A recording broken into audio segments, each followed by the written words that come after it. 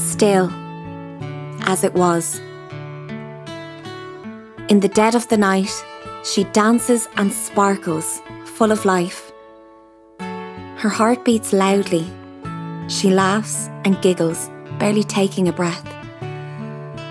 Her hair is flowing as the magic oozes from her hands. Colours cascading everywhere. She is home now and can barely contain her excitement.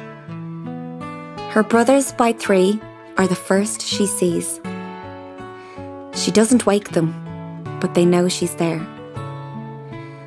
She kisses them softly. They smile.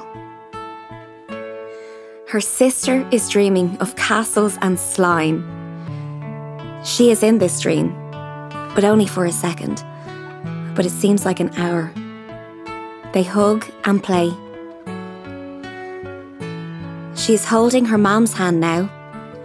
She is uneasy and calls to her.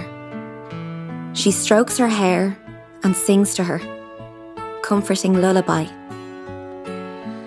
Her breath slows. She is calm.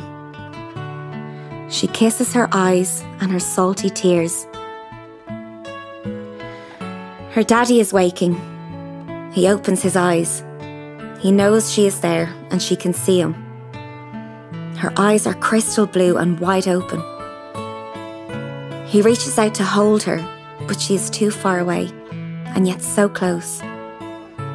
He can hear her heart beating. This calms him as he knows she is alive. She holds his hand and sings softly to him as he drifts away. In a flash of crimson, she leaves them all before the night sky turns white and everything is still, as it was.